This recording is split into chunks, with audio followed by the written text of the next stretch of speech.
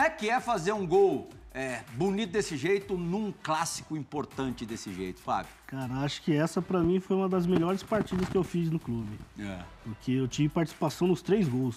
Rapaz. Na falta, né, que gerou a cobrança do Rogério e o Diego Tardelli finalizou No rebote. no rebote. E depois do cruzamento do segundo gol, eu que dei pro Carlos Alberto fazer.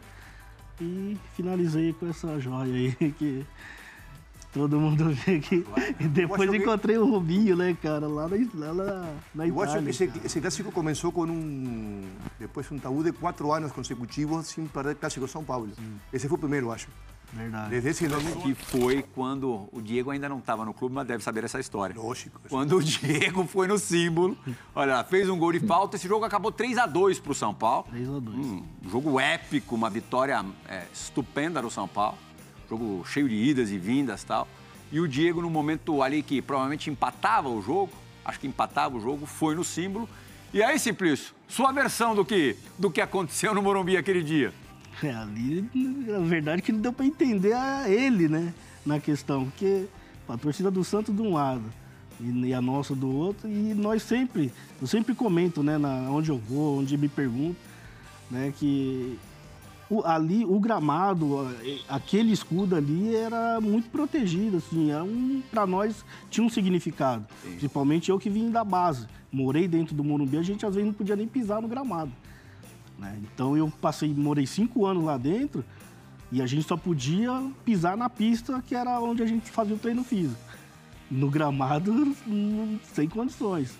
E com muito menos no símbolo. Aí teve esse episódio, né, que automaticamente quando eu vi, eu saí correndo. Nem sei o que, que deu na minha cabeça ali na hora, mas bateu aquele espírito tricolor que chegou ali na hora ali, eu fui tal chamar a atenção. Agora, dele. você esperava uma participação maior dos teus companheiros, né? É, porque eu olhei pra trás e tinha ninguém. Na minha frente tinha o André Luiz e o Alex. Duas torres na minha frente, eu olhei pra trás e falei, vai, vai, cadê o meu pessoal? Depois que eles vieram, mas aí já tinha apaziguado tudo. Mas ficou por isso mesmo. Você tomou o vermelhinho ali ou não? Não, não, ainda sofri o pênalti que. Da que vitória? Que, é, sofri o pênalti não. Participei da jogada, que o Reinaldo sofreu o pênalti e o Ricardinho bateu. Se o Lugano tivesse chegado um ano antes, ele, ele com certeza Ah, te auxiliaria ali. comigo. Não, tava, tava ali do meu ladinho, certeza. Se fosse hoje, seria quatro vermelhas para cada lado. Né? Palermo e Juventus, não foi? Conta a história que é muito boa. Não, Desde o túnel ali. Não, no túnel, né? O túnel ali é pequenininho, né? Aí se enfileiraram os dois times ali, cheguei, cumprimentei o Amauri. ah, cheguei no Felipe Melo, Olha. cumprimentei. Pessoal, o pastor alemão tá bravo aí, ô, ô Márcio? Tá, tá. Cachorro tá bravo aqui, velho. Craque, craque impõe tudo. Craque impõe tudo. Não tem problema. Craque impõe tudo.